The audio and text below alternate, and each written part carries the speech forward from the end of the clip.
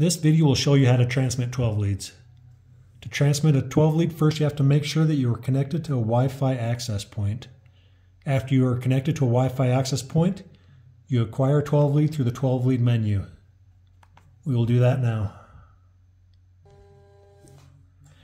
After the 12 lead has been acquired, you will notice an envelope with a 12 icon will appear. Select that icon to enter the 12 lead transmission menu. This menu will give you a list of the places you can transmit your 12 lead.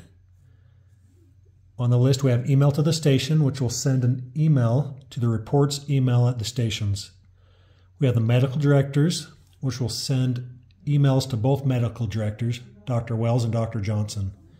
We have Madison Memorial, St. John's, and Teton Valley hospitals. If a hospital is selected, an email will be sent, or excuse me, a fax will be sent to the ER fax machine. If a hospital is selected, also, the medical directors will automatically receive a, an email at the same time. If you notice, Community Hospital and EIRMC are not on the list at this time.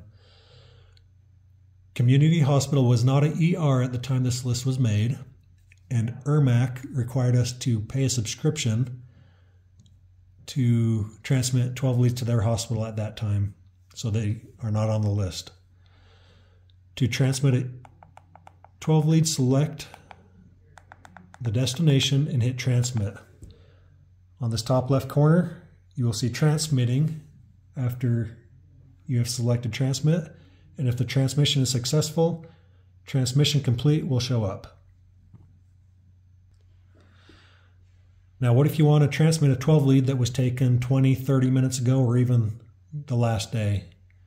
Again, you'll need to make sure you're connected to the Wi-Fi to do so. You'll pull up your 12 lead menu and select this icon with a check mark. The icon with a check mark will bring you into a menu that will show you previous 12 leads. Select the desired 12 lead once it is selected, you can either review the 12 lead or you can transmit by clicking the icon with the envelope and the 12. Again, select your destination and click transmit.